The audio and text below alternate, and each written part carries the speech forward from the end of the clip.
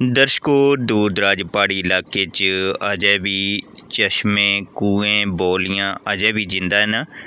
ਜਿੰਦਾ ਪਾਣੀ ਲੋਕ ਪਹਾੜੀ ਇਲਾਕੇ 'ਚ ਖੁਸ਼ ਹੋਈਏ, ਤਾਜ਼ਾ ਨੈਚੁਰਲ ਪਾਣੀ ਜਿਹੜਾ ਪਹਾੜਾਂ 'ਚ ਨਿਕਲਦਾ ਹੈ, ਉਹ ਪੀਂਦੇ ਨੇ ਅਜੇ ਵੀ ਇਹ ਚਸ਼ਮੇ, ਕੂਏ, ਬੋਲੀਆਂ ਜਿਹੜੀਆਂ ਬਰਕਰਾਰ ਰੱਖੀ ਦੀਆਂ ਨੇ ਇਹ ਤੁਸੀਂ ਦੇਖਿਆ ਕਰਦੇ ਹੋ ਇਹ ਜਿਹੜਾ ਚਸ਼ਮਾ ਹੈ ਕੂਆ ਹੈ, ਇਹਦਾ ਪਾਣੀ ਇਹ 12 ਮਹੀਨੇ ਇੱਕ ਜਿਹਾ ਰਹਿੰਦਾ ਹੈ।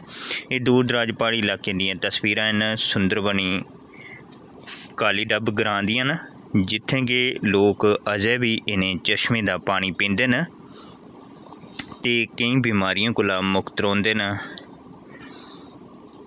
ਤੁਸੀਂ ਦੇਖਿਆ ਕਰਦੇ ਹੋ ਇਹ 12 ਮਹੀਨੇ ਇੱਕੋ ਜਿਹਾ ਪਾਣੀ ਰਹਿੰਦਾ ਹੈ। इसी अजय भी पहाड़ी इलाके च इस पानी की यूज करते हैं लोग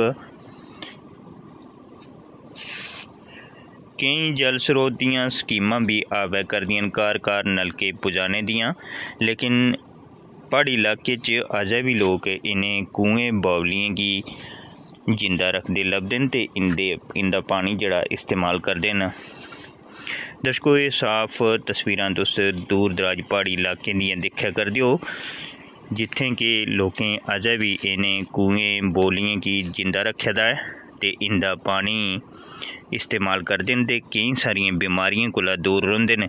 ਕਿ ਜੇ ਪਾਣੀ ਪਹਾੜਾਂ ਚੋਂ ਨਿਕਲਦਾ ਹੈ ਤੇ ਕਈ ਜੜੀ ਬੂਟੀਆਂ ਸ਼ਾ ਹੋਈਏ ਤੇ ਇਹ ਇਸ ਕੂਏ 'ਚ ਜਮ੍ਹਾਂ ਹੋ ਜਾਂਦਾ ਹੈ, ਜਿਹਦੇ ਬਾਅਦ ਇਹ ਪਹਾੜੀ ਇਲਾਕੇ ਦੇ ਲੋਕ ਇਸ ਚਸ਼ਮੇ ਦਾ ਪਾਣੀ ਯੂਜ਼ ਕਰਦੇ ਨਾ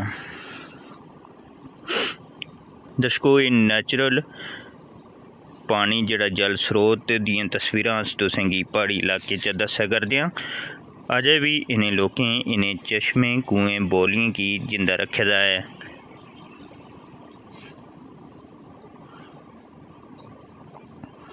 ਦਰਸ਼ਕੋ ਇਹ ਦੂਰ ਦਰਾਜ ਪਹਾੜੀ ਇਲਾਕਾ ਹੈ ਜਿਹਦੀਆਂ ਤਸਵੀਰਾਂ ਤੁਸੀਂ ਕੀ ਦੱਸਿਆ ਕਰਨੇ ਆ ਇਹ ਕਾਲੀ ਡੱਬ ਸੁੰਦਰਬਨੀ ਦੂਰ ਦਰਾਜ ਪਹਾੜੀ ਇਲਾਕਾ ਹੈ, ਜਿੱਥੇ ਕਿ ਇੱਕ ਤਵੀ ਦੇ ਕਿਨਾਰੇ ਉੱਪਰ ਇਹ ਜਲ ਸਰੋਤ ਹੈ। ਤੁਸੀਂ ਦੇਖਿਆ ਕਰਦੇ ਹੋ ਇਹ ਪੀਣੇ ਵਾਲਾ ਪਾਣੀ ਹੈ।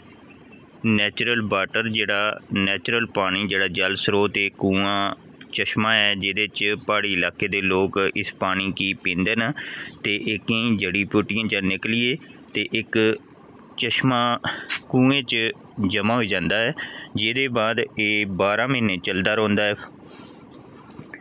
ਤੁਸੀਂ ਦੇਖਿਆ ਕਰਦੇ ਹੋ ਗਰਮੀਆਂ 'ਚ ਇਹ ਠੰਡਾ ਪਾਣੀ ਹੁੰਦਾ ਹੈ। ਤੇ ਸਰਦੀਆਂ 'ਚ ਕੁਦਰਤੀ ਗਰਮ ਰਹਿੰਦਾ ਹੈ। ਜਿਹਦਾ ਇਸਤੇਮਾਲ ਦੂਰ ਦਰਾਜ ਪਹਾੜੀ ਇਲਾਕੇ ਦੇ ਲੋਕ ਅਜੇ ਵੀ ਕਰਿਆ ਕਰਦੇ ਨੇ। ਜੈ ਮਾਤਾ ਦੀ।